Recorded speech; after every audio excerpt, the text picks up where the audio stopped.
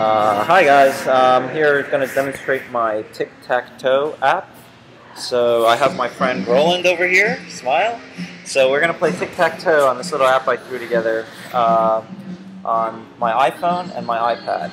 So the way you get this started is you, you launch the you launch the app on both devices. So I'm going to start it right here, and that's going to start the device. And Roland, why don't you you, you want uh, we're, going to start it over here.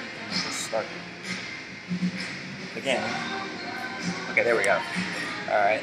So you can see that you um, that it, can, it it actually discovers. You can see my iPhone is over here, and the iPad is listed over here. So Roland, why don't you start the game by tapping?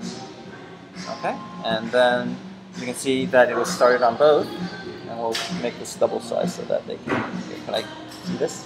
Okay, there we go. All right, so uh, why don't you go first? Okay. So when you tap on there,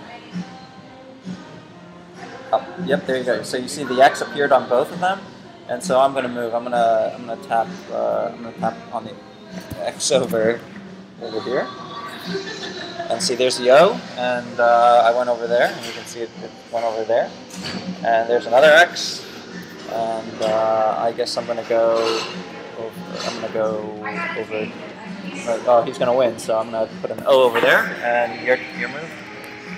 Okay, and uh, I'm going to go over here, and I won. See, it says, it says, I you have won, and over here it says, you have lost. So there, that's my uh, tic-tac-toe app, and uh, yeah, I used I used Skitch to draw the X's and O's. so uh, I hope that's what you guys were looking for. See ya.